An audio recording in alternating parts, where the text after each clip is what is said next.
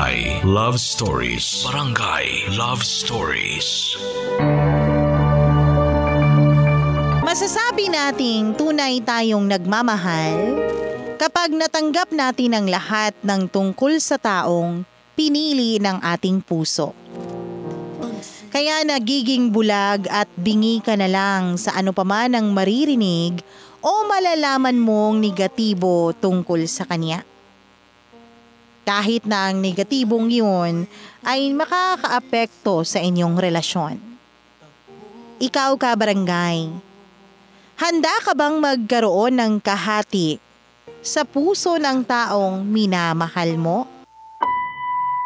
Dear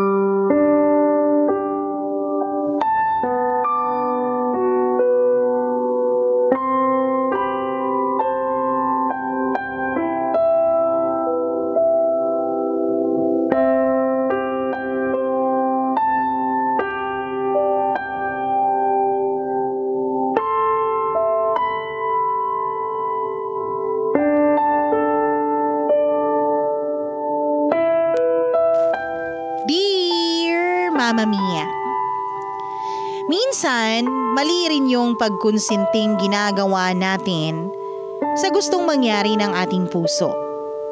Kaya nga ang nagiging resulta ay nasasaktan tayo sa huli. Kasi kahit alam natin na may mali na, pilit pa rin nating ginagawang tama. Hello Mama Mia, I'm Chris. 33 years old at nagtatrabaho bilang isang virtual assistant. Matagal na rin akong tagapakinig ng inyong programang Barangay Love Stories. Kayo kasi talaga ang isa sa mga paborito kong DJ kaya hindi ko pinapalampas ang araw na hindi ako makakinig ng sulat na inyong binabasa. Kaya heto, nahikayat na rin ako na magpadala ng sulat para i-share naman ang sarili kong kwento. Sa totoo lang, Mama Mia, lumaki ako sa may kayang pamilya. Wala na akong daddy pero ang mommy ko ay nasa Spain at may iba nang kinakasama doon at dalawang anak. Matagal na niya akong gustong papuntahin doon pero ayoko talaga kasi wala naman doon ang buhay ko. Kaya palagi na lang siyang nagpapadala ng allowance sa akin na madalas pa nga ay sobra-sobra pa. Yun din ang dahilan kung bakit tinamad na akong tapusin ang pag-aaral ko noon sa college. Kasi alam ko naman na palagi akong may pera. At nang huminto ako sa pag-aaral ay nag-focus na lang ako sa pagiging drummer sa isang banda dahil passion ko talaga ang music. At sa isang music festival na tinugtugan namin noon Mama Mia, ay doon ko nakilala ang babae na nagpatotoo sa akin ng mga salitang love at first sight.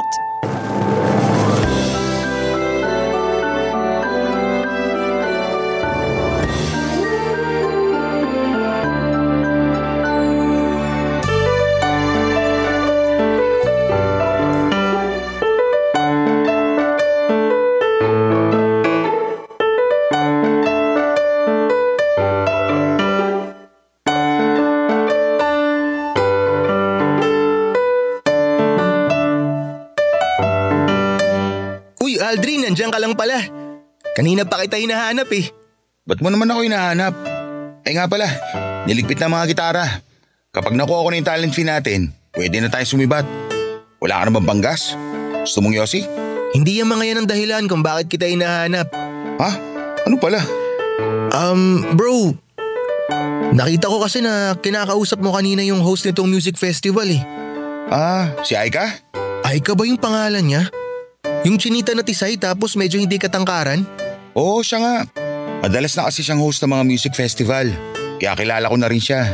Ang ganda naman ng pangalan niya. Bagay na bagay sa ganda ng mukha niya. Itong tropa ko, oh. mukhang tinamaan ka kay Aika. Ang ganda kasi talaga bro. May boyfriend na ba yun? Ang alam ko, wala. Ihikan kasi yun sa grabe kong rumakit. Kaya walang oras mag-love life. Sakto pala eh. Anong sakto? Di ba may girlfriend ka? Wala na. Mag-iisang buwan na akong single. Talaga ba? Parang nung isang linggo lang, nakita ko may kadate kang babae ah. Wala na rin yun. Nakadate ko lang naman ng isang beses yun pero wala ring dating eh. Ang bilis mo naman magsawa. Hindi man lang umabot sa second date. Ganun talaga. Kesa magsayang pa kami ng mga laway at oras namin sa isa't isa. Um, Aldrin, favor naman oh. Pakilala mo naman ako kay Aika. Mukhang tinamaan talaga ako eh. Palagi ka naman tinatamaan basta nakakita ka ng tisay. Iba talagang tama ako ngayon bro. Mukhang magtitino na ako this time. Sus! Ilang beses ko na rin narinig sa'yo yan. Iba nga talaga ngayon, Pexman. Oh, bro! Ayan si Aika oh. Mukhang dadaan dito sa pwesto natin.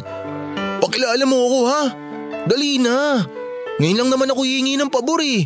eh libre kita ng yosi mamaya.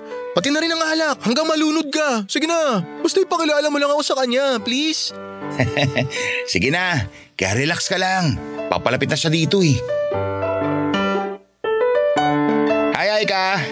Hi, Aldrin. Ang ganda ng tugtog nyo kanina. Talaga? Nagustuhan mo? Oo, ang tas kaya ng energy ng mga tao nung kayo na yung tumutugtog sa may stage. Ang galing nyo nga eh. Hindi naman masyado. Sakto lang. Eh, aray! Oh, bakit? Ah, wala. Biglang sumakit tong tagiliran ko. Parang biglang may sumiko. Ah, oo nga pala. Tropa ko sa drummer ng banda namin, si Chris. Chris, si Aika. Hi Aika. Nice to meet you. Ang ganda mo pala talaga sa malapitan. Ang bilis mo namang mambola, Chris. Pero nice to meet you din. Um, kailangan ko na rin palang umalis kasi mag-aayos pa ako ng mga gamit ko. Okay, sige. Bye Aika. Babay din sa inyo.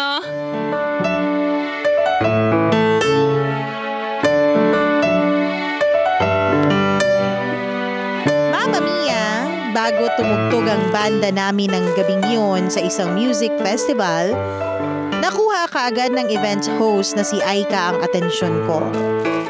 Sobrang ganda niya kasi ng mga oras na yon. Hindi makapal ang makeup niya, nakalugay ang kanyang mahabang buhok, at ang sexy rin ang suot niyang dress na bumagay sa katawan niya. Siguro ang pinakagusto kong parte ng mukha niya ay yung mga mata niya na ngumingiti kasabay ng kanyang mga labi.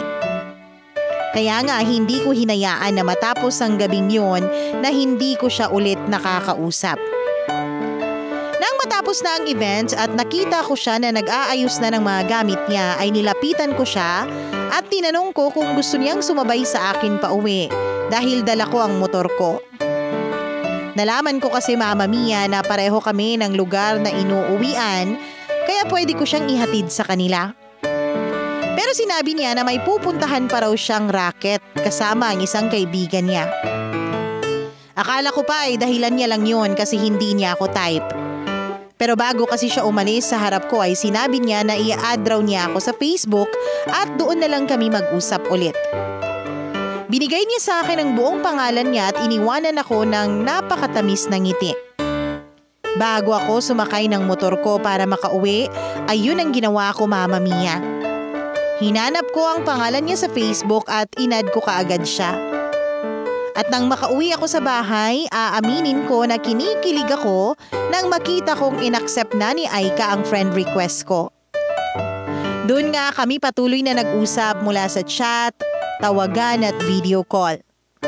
Hanggang sa yayain ko na siya na mag-date na kami, Mama Mia.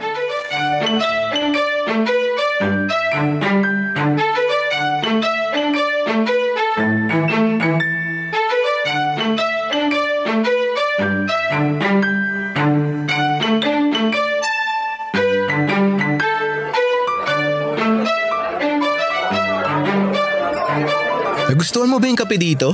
Oo naman. Lalo na tong in-order ko. Sakto yung timpla sa lasa na gusto ko. Yung nagtatalo yung pait at tamis. Mabuti naman at nag enjoy ka kahit papano. Anong kahit pa paano? Sobrang nag enjoy ako dito kasama ka, Chris. Talaga? Ang saya mo kasing kasama. Mula dun sa pinasyalan nating falls, kinainan natin na masarap na lumihan, hanggang dito sa coffee shop. Lahat yon na-enjoy ko. Lalo na ngayon kasi ang relaxing ng ambyan sa lugar na to. At saka, ang ganda pa ng tanawin dito sa spot natin. Pero mas maganda pa rin yung nakikita ko mula dito sa kinauupuan ko. Parang ewan naman to eh. Bakit? Totoo naman ah. Ang ganda kaya ng babaeng tinititigan ko ngayon. Tumigil ka na nga dyan, Chris. Oh, bakit? Anong ginawa ko? Ay nako, ewan ko sa'yo. Nako-conscious na ako sa pagtitig mo sa akin eh. Pasensya na kung napapatitig ako. Pero totoo naman kasi. Ang ganda-ganda mo talaga, Aika. Ilang ulit mo nang sinabi yan mula kanina. Hindi ka pa nagsasawa. Hindi. Hinding hindi ako magsasawa na titigan ka, promise. Ewan ko sa'yo. Pero thank you ha. Thank you para san? Um, para dito, sa pamamasyal natin, road trip, saka food trip, sobrang nag-enjoy talaga ako kasi ngayon lang ako nakapamasyal ng kagaya nito. Naging busy rin kasi ako sa mga racket ko. Kaya ayun, nawala na ako ng oras para mag-enjoy. Nakwento nga ni Aldrin sa akin na certified lagarista kang araw. Medyo, kasi kailangan eh. Breadwinner kasi ako, tapos may lima ako mga kapatid na pinag-aaral ko ngayon. Ang dami mo palang mga kapatid. Oo, ang sipag kasing magmahala ng parents ko. Ayun nga lang, maagang kinuha sa amin si nanay, kaya kailangan ko rin kumayod ng maaga. Umalis muna ako sa bahay namin sa La Union kasi mas malapit ang Batangas sa mga racket na pwede kong pasukin. Nakakamiss lang talagang makasama si tatay at yung mga kapatid ko. Pero wala eh. Kailangan kong tiisin yung lungkot para hindi kami pare-parehong magutom at maghirap. Alam mo ang swerte ng pamilya mo sa'yo, lalo na ng mga kapatid mo. Kasi nagkaroon sila ng isang mapagmahal na ate na kagaya mo. Maswerte rin naman ako sa kanila kasi pinagbubuti nila ang pag-aaral nila bilang kapalit ng mga pagsisipag ko sa mga racket ko. Um, ikaw ba? Anong pinagkakaabalahan mo bukod sa pagbabanda?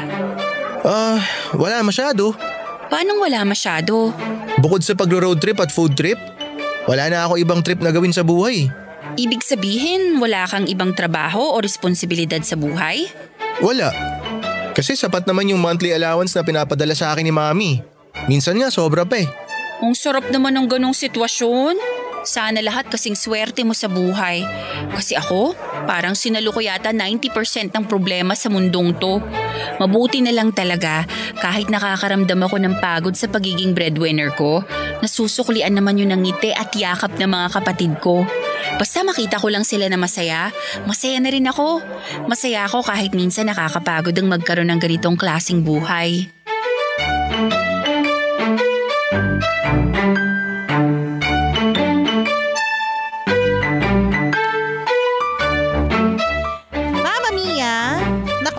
Na sa akin ng katropa kong si Aldrin na lagarista nga raw talaga si Aika. Pinapasok niya ang iba't ibang racket para lang kumita ng pera. Kilala niya kasi ito dahil mas matagal nang nag- nagbabanda sa akin si Aldrin. Madalas daw talaga nga nga si Aika ang kinukuha na host sa mga event o small time na music festival na tinutugtugan niya. Pero hindi ko inaasahan noon na ganun pala talaga siya kalakas rumakit. DJ na siya sa isang online radio, pumupunta sa mga event para mag-host, kumakanta sa mga resto bar tapos nagmo-model din pala siya. Ang kwento nga ni Aika ay panganay raw siya sa anim na magkakapatid at wala na siyang nanay. Ang tatay naman niya ay nagkaroon ng sakit sa bato at kailangan ng i-dialysis ng dalawang beses sa isang linggo. Kaya nagdesisyon siya na huminto na sa pag-aaral at maagang magtrabaho para na rin sa pamilya nila. Medyo na guilty ako sa part na pangarap ni Aika na makapagtapos ng pag-aaral pero mas pinili niyang isang tabi muna ang pangarap na yon. Nagsakripisyo siya para sa mga kapatid niya. Samantalang ako, Mama Mia, ay may choice ako na mag-aral pero mas pinili kong huminto dahil lang sa tinatamad ako. Doon ko talaga naisip, Mama Mia, na hindi talaga patas ang mundo. Dahil palaging merong nakakaangat at meron ding lumulubog kahit papilit silang nagsusumikap na makaahon.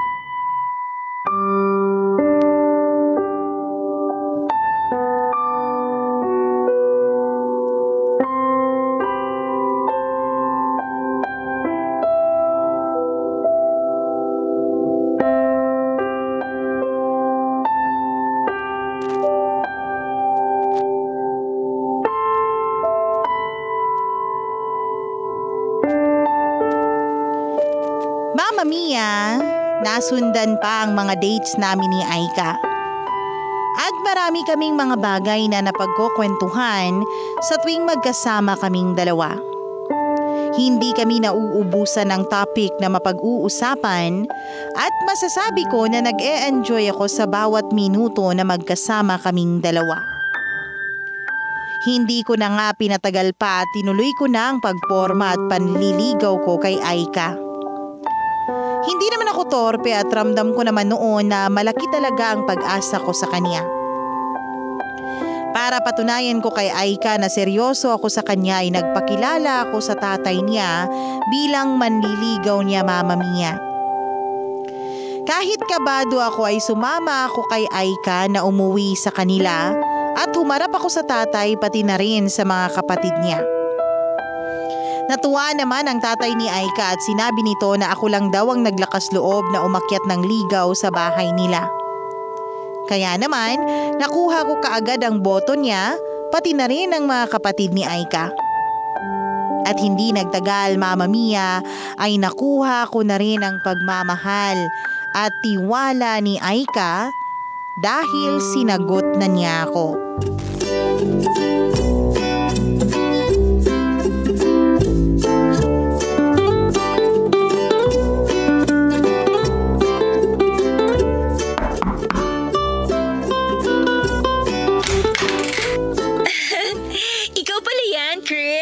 Kala ko naman poging jowa ko nang kumakatok dito sa pinto ng apartment namin ni Aika.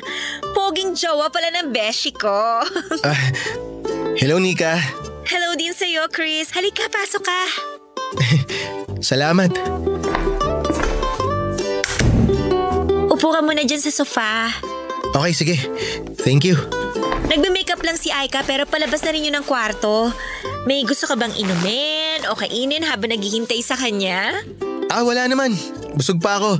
Huwag ka na mag-abala. Salamat, Nika. Ah, eh, tikman. Baka may gusto kang tikman habang wala pa dito yung beshi ko. Aha. Alam mo na, bagong putahe.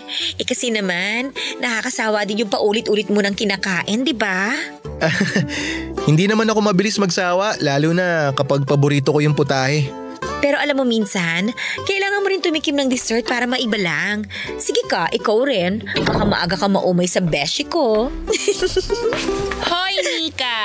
Ano yung naririnig ko na pinaghaharot mo na naman yung boyfriend ko? Oy, hindi ah. Masyado ka namang malisyosa. Pinapayuhan ko lang na next time magdala siya ng pagkain. Kasi nauumay na ako sa mga cup noodles natin dito sa apartment, no?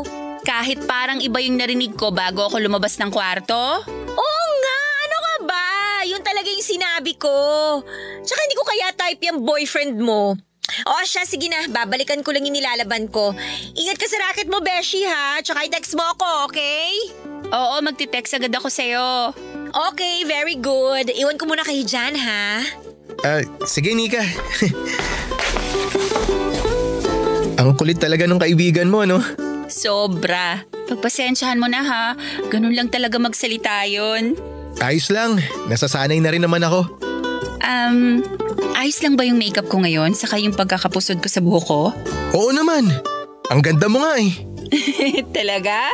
Oo, maganda ka talaga.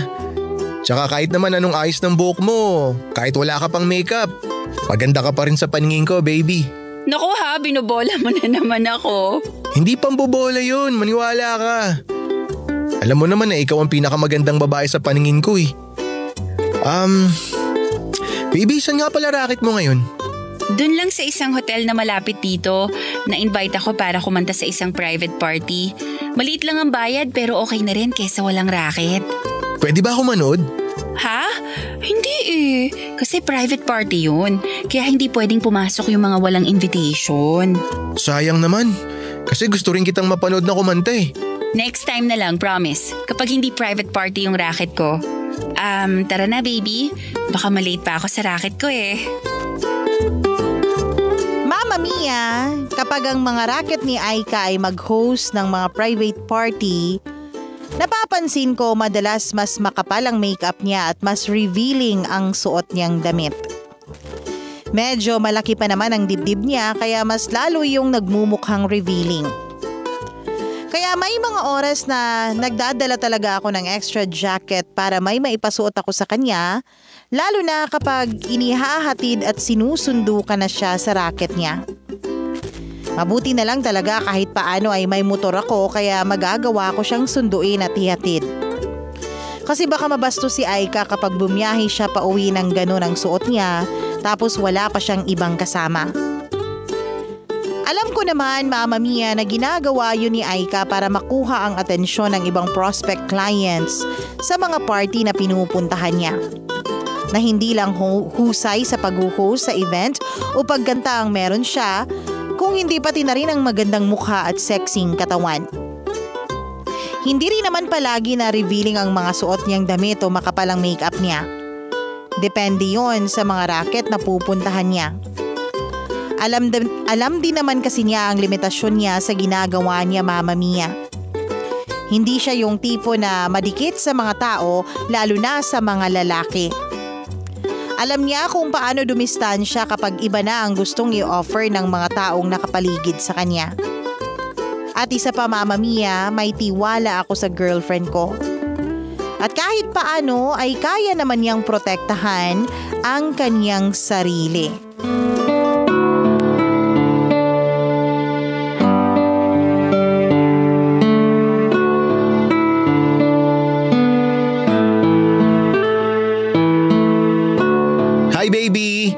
Malapit na ako sa studio. Ikaw, nasan ka na?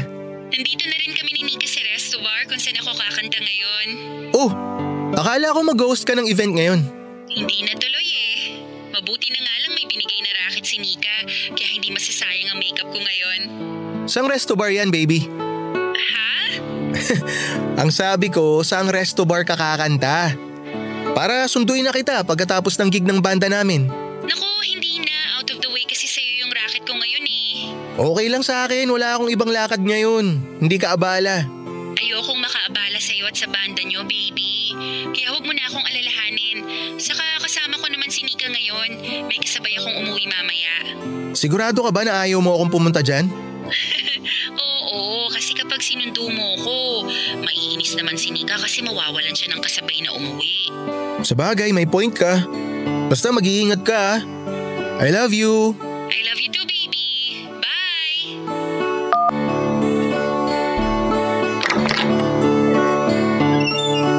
Mabuti naman at dumating ka na, Chris. Nasaan na ibang kabanda natin? On the way na raw. Medyo maaga pa naman kaya okay lang kahit wala pa sila.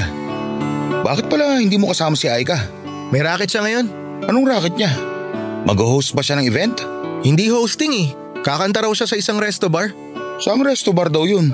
Hindi ko nga alam eh. Hindi niya na sinabi. Sayang naman. Kasi kung magtatagal siya doon, pwede sana tayong dumiretso doon pagkatapos ng gig natin. Yun nga rin yung sabi ko sa kanya. Pero ang sabi naman ni Aika, kasama niya raw si Nika kaya hindi ko na kailangan sumunod dun. Si Nika yung maingay na babaeng kasama niya sa apartment, di ba? Yung pinakilala niya nang minsan dumalaw tayo doon sa kanila? Oo, siya nga yun. Alam mo, sa totoo lang, hindi ko gusto yung dating ng babae na yun. Oh, bakit naman? Kasi masyado siyang maingay? Ganun lang talaga yung sinika pero mabait naman yun. Mukha naman talaga siyang mabait. Kaya lang kasi, may naririnig ako tungkol sa kanya. Ha? Ano naman yun? Ang sabi kasi no isang kabanda natin, nag-escort service daw yung sinika.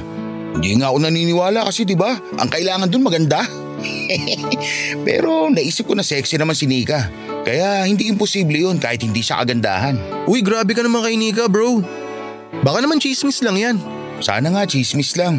Kasi kung hindi, baka mamaya ibang racket na pala yung binibigay niya sa girlfriend mo. Kaya bantay-bantayan mo rin si Aika ha. Bago pa lang ang relasyon niyo. Kaya sigurado ako na marami ka pang hindi alam tungkol sa kanya.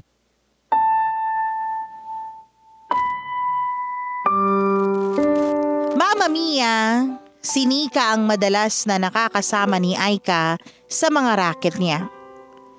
Kung anong revealing minsan ng mga sinuot ni Aika ay mas revealing ang mga damit ni Nika at mas makapal din itong mag-makeup.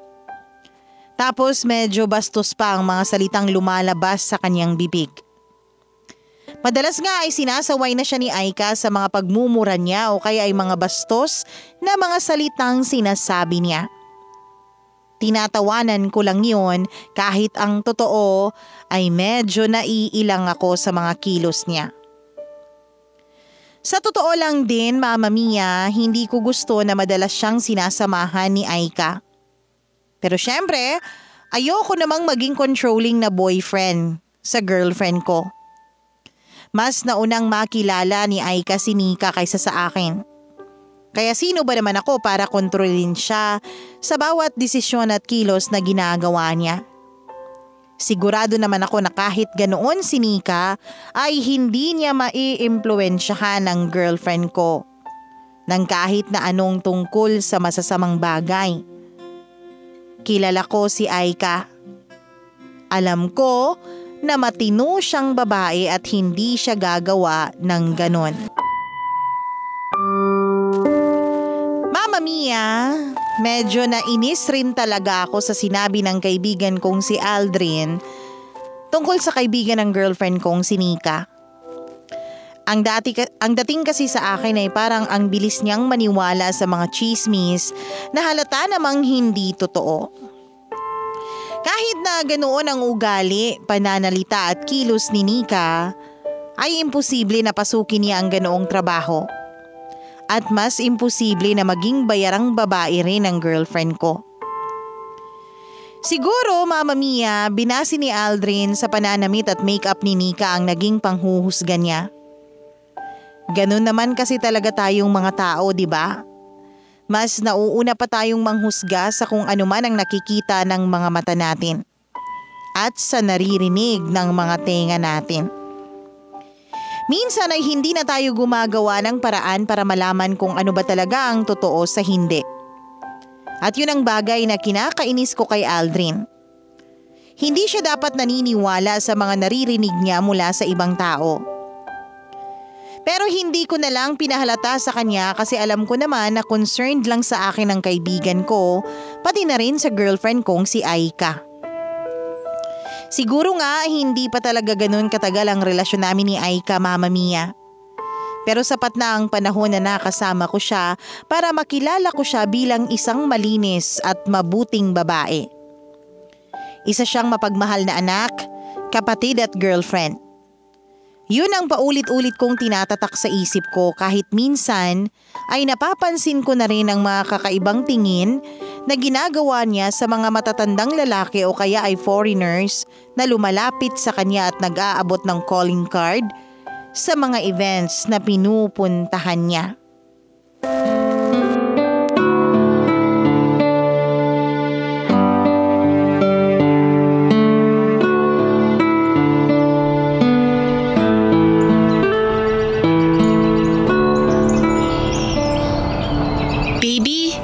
Muna tayo sa may banda doon.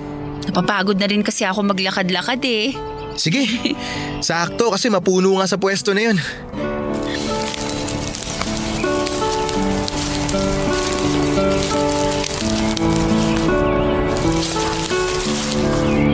Oh, dito ka umupo baby. Ay, sa wakas, nakaupo rin. Medyo sumakit yung mga paa ko dun sa paglakad-lakad natin ah. Mabuti na lang may malapit na pwesto dito na pwedeng upuan. Tsaka hindi rin gaano mainit ang panahon ngayon kaya masarap talagang mamasyal at magpahinga pagkatapos ng mahabang lakaran. Buti nga dito mo naisip sa Plaza Mabini mag-celebrate ng monthsary natin ngayon eh. Palagi na rin kasi tayong kumakain sa mga restaurant eh kapag special day natin. Kaya ito yung pumasok sa isip ko na gawin natin ngayong araw na to. Tipid na, enjoy pa. Agree ako dyan sa sinabi mo, baby. Teka, ubusin ko lang tong banana ko yung nahawa ko. Natunaw na rin kasi yung asukal sa sobrang tagal ko kumain. Tutulungan na nga sana kitang ubusin yan eh. Alam mo naman kasi kung gaano ako kabagal kumain. Uh, baby, may question pala ako. Ano yan? Gaano na kayo katagal na magkaibigan ni Nika? Mm, wait lang baby ah. Lunukin ko lang tong saging na nasa bibig ko bago ko sagutin yan. So ayun na nga, magkaklase kami nung high school sa La Union.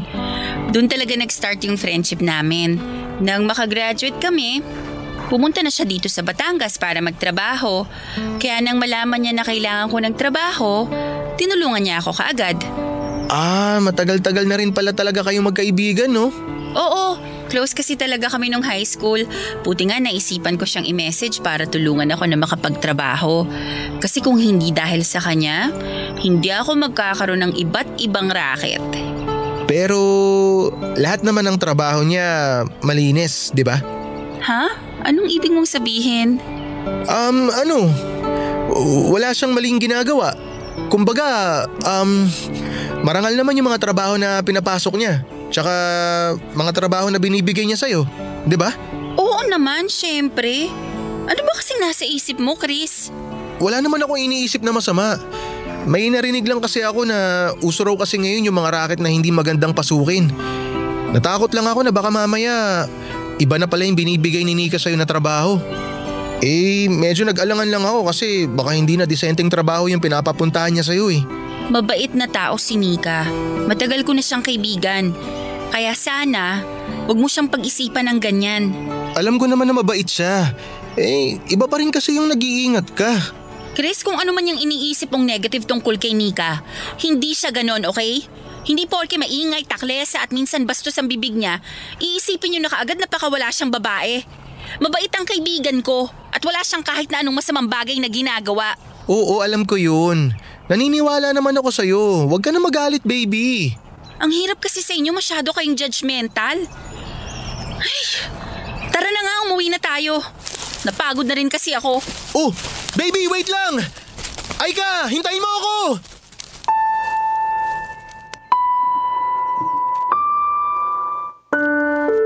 Mama Mia, alam ko na sumama rin ang loob ni Aika sa mga sinabi ko, pero gusto ko lang namang maging open sa kanya tungkol sa bagay na nasa isip ko.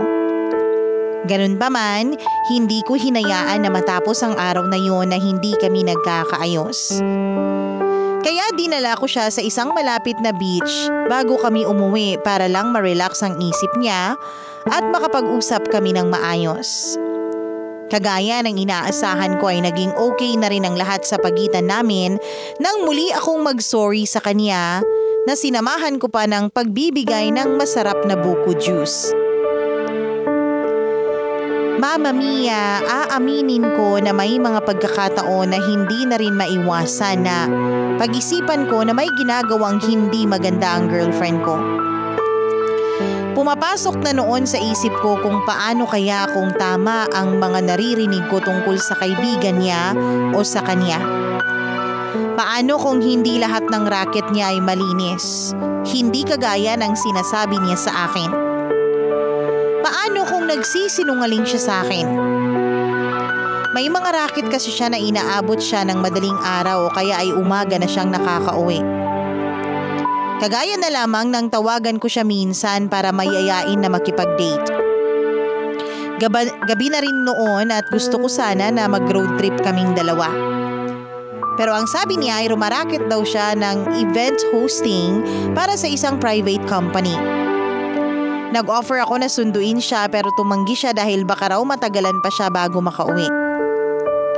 Umaga na nang i-text niya ako na nasa bahay na siya para magpahinga. Kapag mga ganoong oras ang racket niya, Mama Mia, ay sobrang bihira siyang magpasundo o magpahatid sa akin. Para bang ayaw niya na makita ko kung sino ang mga kasama niya. Hindi rin kasi siya nagpo-post sa social media niya ng tungkol sa mga racket na yon.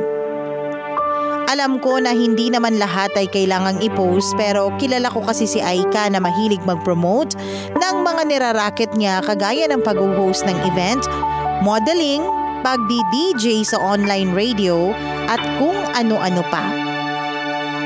Pero kapag rumaraket siya ng madaling araw sa mga private party na sinasabi niya, ay hindi niya iyon pinapapaalam sa mga kaibigan o mga followers niya sa social media. Pero hindi naman siya palaging ganoon. May mga oras pa rin na nagpapasundo rin siya kapag gusto niya na dumiretso kami sa pamamasyal pagkatapos ng kanyang racket. Kagaya na lamang nang tawagan niya ako isang gabi para magpasundo siya sa akin ginabukasan sa isang condo hotel. Doon daw kasi ang racket niya at gusto niya na mamasyal kami kinabukasan. Mama Mia, yun ang araw na kahit kailan ay hinding hindi ko makakalimutan.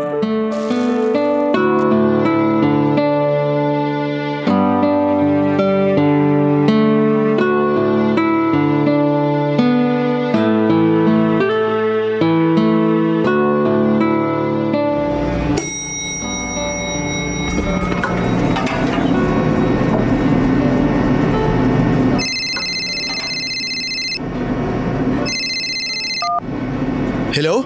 Hello pare, nasan ka? Nandito ako sa condotel, susunduin si Aika. Anong ginagawa mo dyan? Tumawag kasi sa akin si Aika kagabi. Nagpapasundo siya sa akin dito. Nag-host daw kasi siya ng isang private party na ginanap sa isa sa mga room dito eh. Kaya lang, hindi naman siya nagre-reply mula kaninang umaga. Alam mo ba kung nasang room number siya? Sa kabuti, pinapasok ka dyan. Hindi naman maigpit yung receptionist sa lobby kanina kaya pinakyat na ako dito. Tapos sakto, na-text na rin sa akin ni Aika yung room number kaya pupuntahan ko na siya. Didiretso na ako dun sa kwarto. Dapat nga sa lobby lang ako maghihintay kagaya ng billing niya kaya lang hindi siya nagre-reply sa mga text ko eh. Kaya minabuti kong puntahan na siya. Baka nalasing kaya hindi ka na niya na-replyan. Uy! Diyos ko! Ano yun? Ano nangyari sa'yo? Teka bro, parang boses ni Nika yung sumigaw na yun ah. Oh, anong nangyari dyan pare? Eh, hindi ko alam. Narinig ko lang yung boses ni Nika na parang umiiyak. Sige bro, tawagan kita mamaya ah. Sige na. Sige, sige. Parang doon yata nang galing sigaw ni Nika. Tsaka bakit parang ang dami ng tao ron? Matingnan nga. Ano kayang meron? Narinig niyo yung kumot sa leg ni Aika. Eh, excuse me. Awa niyo na. Makikiraan lang po. Rolly! Excuse me, makikiraan sandali. Ano bang... Tanggalin tong kumot sa leg niya. Aika! Sabi na tanggalin niyo na yung kumot eh! Tanggalin niyo yung kumot na nakabigti sa kanya! Ma'am, pasensya na po pero ang higpit kasi talaga ng pagkakatali nitong kumot. Gumawa ka ng paraan! Nika! Ano nangyari kay Aika? Chris! Baby! Chris,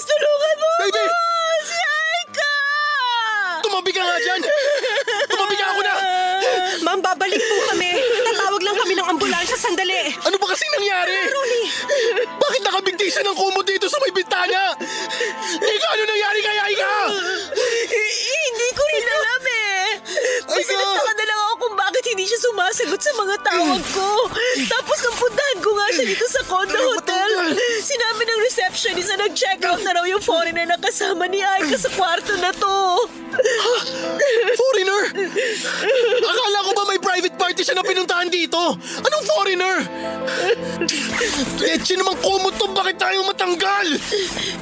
Eh, kasi Chris, hindi naman talaga private party yung pinunta ni Aika dito. Yung, yung foreigner na client niya, yun ang dahilan kung bakit siya nandito. Kaya nga kinabahan na ako nang hindi siya sumasagot sa mga tawag ko eh. Tapos nang dumating ako dito, nag-request na ako na ipabukas yung pinto ng kwarto kung nasan si Aika. Tapos, nakita na namin siya nakabikti dito sa may bintana. Chris, sigurado ako. Sigurado ako na yung foreigner na yun na may gawa nito kay Aika. Chris,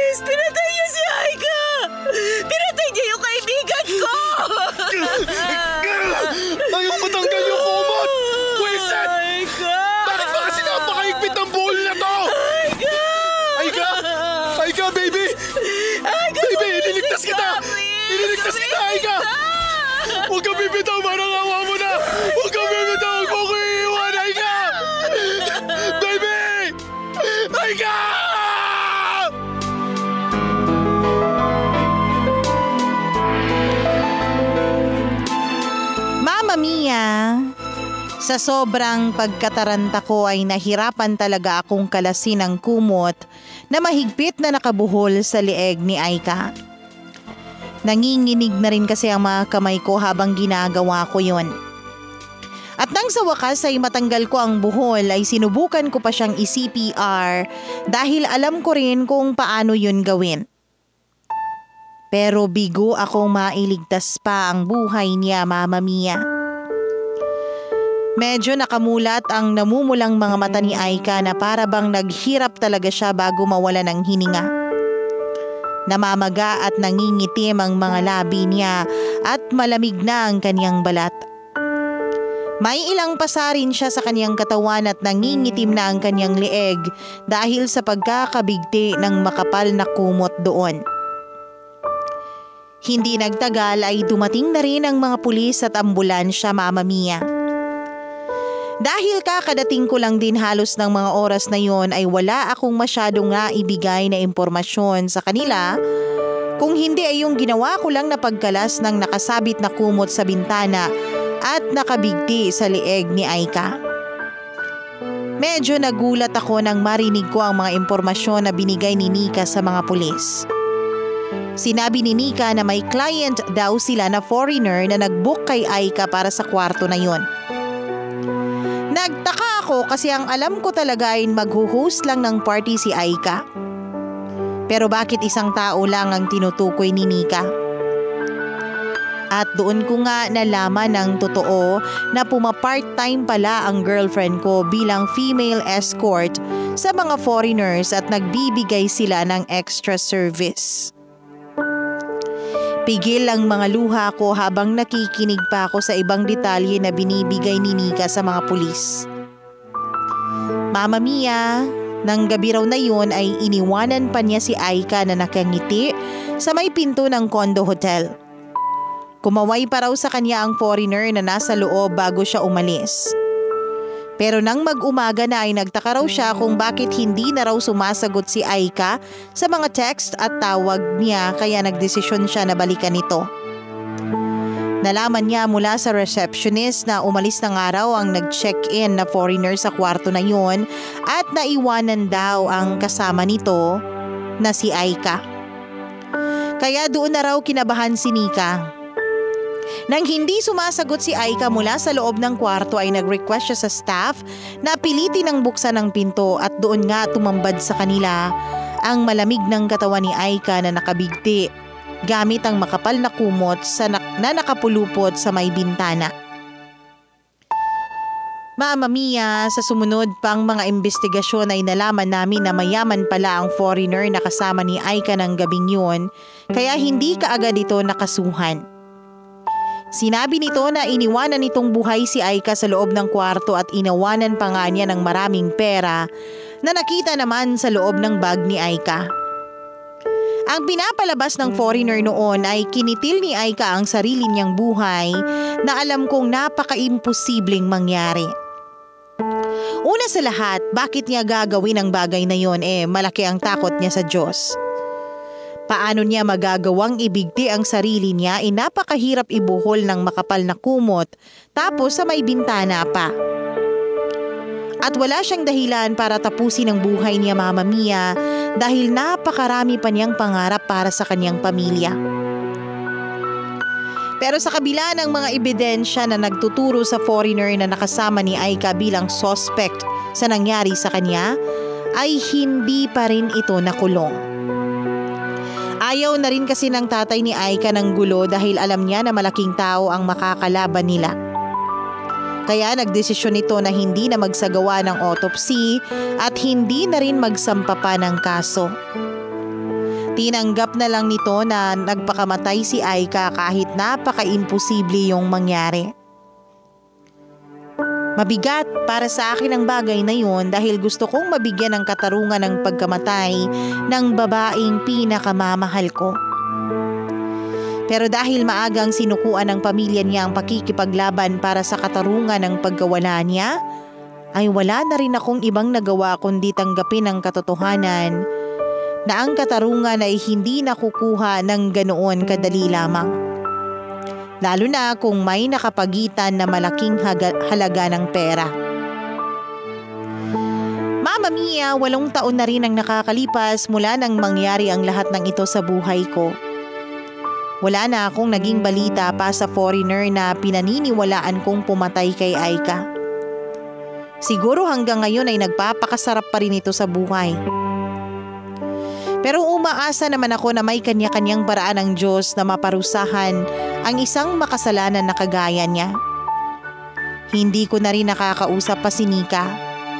Pero ang alam ko ay nagbagong buhay na siya mula sa naging trabaho niya bilang female escort na may extra service. May asawa at dalawang anak na rin ako ngayon, Mama Mia. Pero nananatili pa rin si Aika sa puso ko. May bahagi kasi ng sarili ko ang nanghihinayang dahil hindi ko man lang siya natulungan na mas ayusin sana ang buhay niya. Kung nalaman ko lang ang tungkol sa totoong racket niya, sana ay nasubukan ko man lang na maging daan para magkaroon siya ng bagong buhay. Kasama ako. Maraming maraming salamat Mama Mia sa pagbibigay mo ng oras na mabasa itong sulat ko. Ang inyong forever kapuso at forever kabarangay